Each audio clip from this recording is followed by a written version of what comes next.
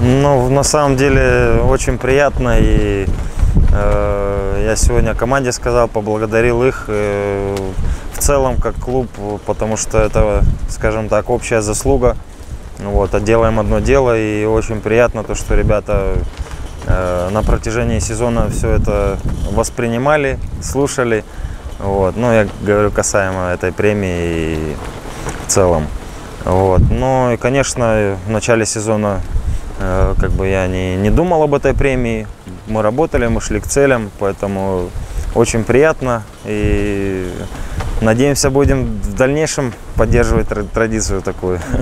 Да, мы постараемся, конечно же, в планах есть это. И поговорили с командой, с руководством, вот, нацелились на постараться добиться чемпионства и как минимум э, результат улучшить, который у нас был. Вот, поэтому двигаемся вперед. Естественно, мы как бы есть желание хорошее, огромное, вот добиться еще одного трофея. Будем играть.